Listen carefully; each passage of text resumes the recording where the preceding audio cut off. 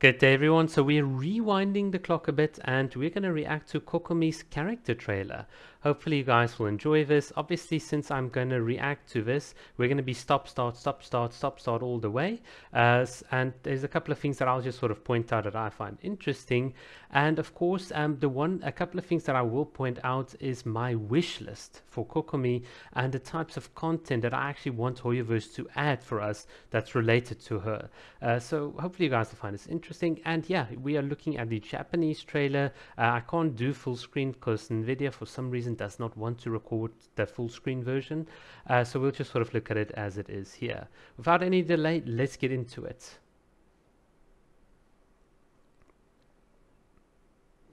海の生き物にはそれぞれの生きる道があります強大な個体を前にした時 Right, so here's where, where I find absolutely um, gorgeous. Kokomi is essentially like sitting in a fetal position here in the deep in the depths of the ocean. You can see here you've got like the, the light right at the top and it's just like really, really deep uh, underneath her. And this is so really well done because what they've done is they've zoomed in on the pupil of her eye right here, which is very reflective of that deepness in the ocean. If you've ever looked at the pupils, you can see you can't really look into them straight away. There's always like, it, it, it, it seems like her eyes are like blank. It's almost like dead, but that's not actually what they are. They're, they're supposed to be reflective of the vastness of the ocean, which I think is a really cool design feature. 魚の群れはかわそうとしますが運が悪ければ食べられてしまうでしょうそのため弱者である魚類は一致団結し強大な魚群となって互いを守るのですこれこそが弱者としての抵抗 So right here, something that I want to point out. You can see a Kokomi jets up like to the uh, to the surface, and this is on my wish list for Kokomi. I want Hoyoverse to create an underwater cavern for us to explore. So basically the idea would be either next to Watatsumi Island or I think ideally um, near the Golden Archipelago, create an area for us that's like very deep undersea that you can explore. It's almost like Pokemon uh, Ruby and Sapphire and Emerald, if you guys are familiar with it, where you can almost like um, surf on the on the top of the ocean, and then there are designated areas where you can actually dive down.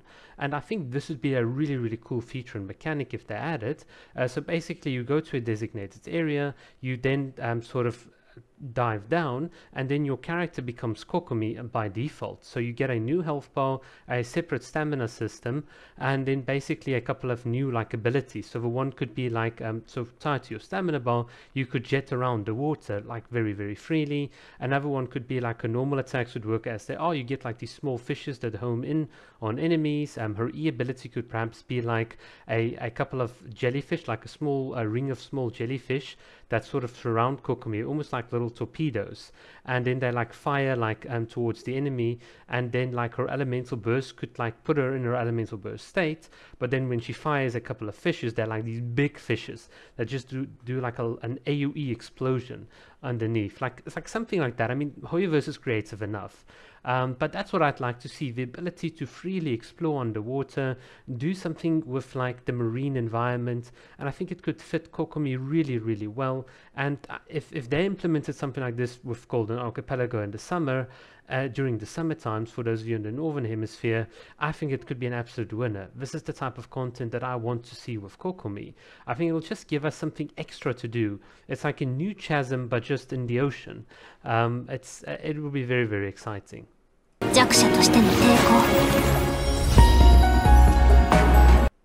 Obviously the beautiful splash art, the floatiness, uh, the, you can see the beautiful little starfish here, and then of course Kokomi, the heart of the ocean, absolutely beautiful. I love this. This is like really, really, really well done. And you can almost see here as well, like the, the ocean, still that sense of the ocean deep in the background.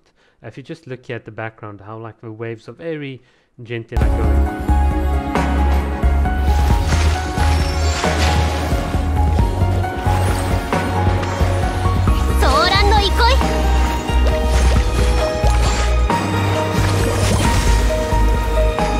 Kokomi again, I think, being one of the most fluid um, and smoothest characters in the game when it comes to animations. I, I really, really like it. Um, obviously, we've played a ton of Kokomi, so it's not really anything new for me to say other than I think it's one of the best in the game.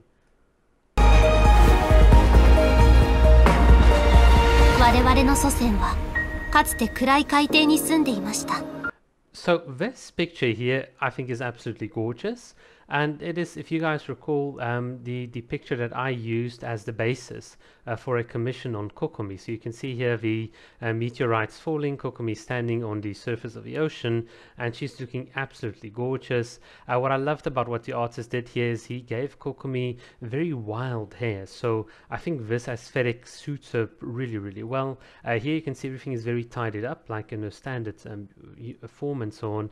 But just a bit of wildness onto Kokomi makes her look really really sexy if I'm if I'm honest.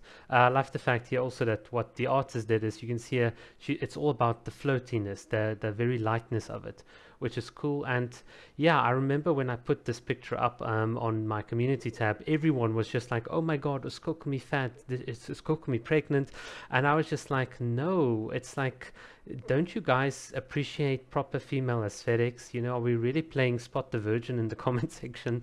Um, I think she looks absolutely gorgeous. So, uh, in my opinion, the artist did such a good job, and it really, really encapsulates this scene, which I think is like one of the most beautiful scenes uh, in the entire trailer. But yeah, this is the full version or the full length version for those of you guys that have, haven't seen the full length version or haven't seen this. Um, I like it really, really. Uh, I think it's really awesome. 彼らが初めて星空を見た時どのような気持ちを抱いたのでしょうそれを思うと目の前にある光をより大切にしたいのです So I think a lot of people would say, well, Kokomi is standing here and she's looking at the starry skies, but I think this is more in, um, reflective of her internal state of mind.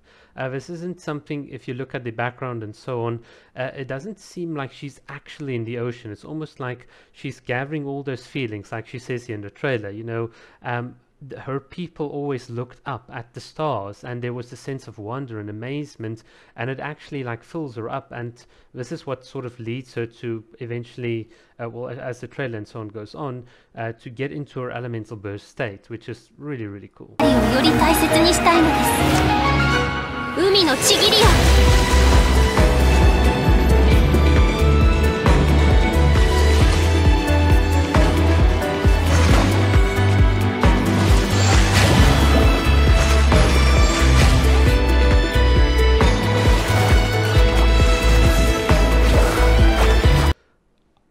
why can't my Kokomi do this? I want to do this. I want to play um, slime ball volleyball. um, I want to play, I want to do this with Kokomi. I think this is also a very, very cool thing uh, that you could add, let's say, to the Golden Archipelago, uh, some sort of variation where characters like Kokomi uh, can do some interesting aerial movements, like while hitting a volleyball, like over the nets and so on. It could be a fun PvP like sort of game, but I mean, Obviously, Hoyoverse won't listen to their paying customers, so we'll it can only it'll only be a dream.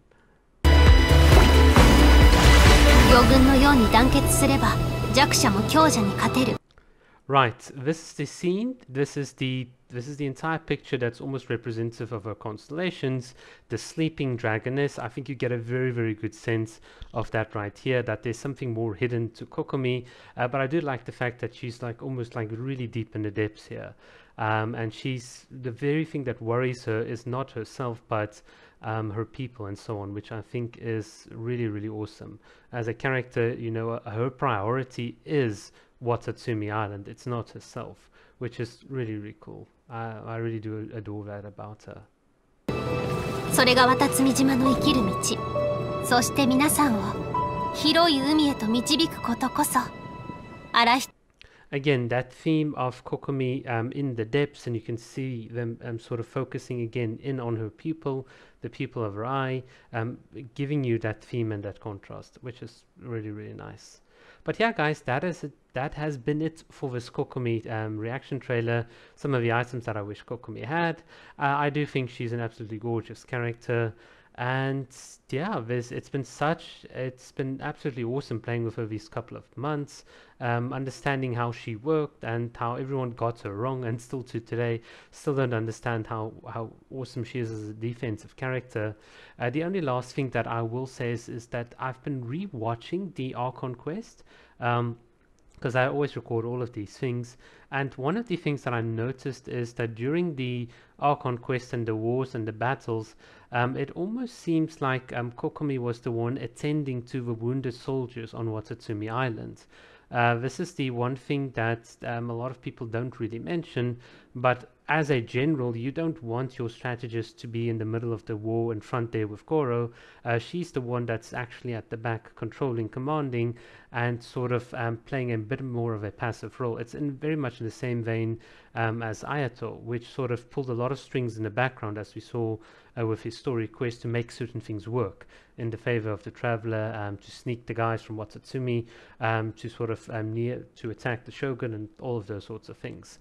Um, do I want more Kokomi content? Yes. And when do I want it? I want it yesterday, but hopefully we'll get more in the future. Thanks for watching. Cheers.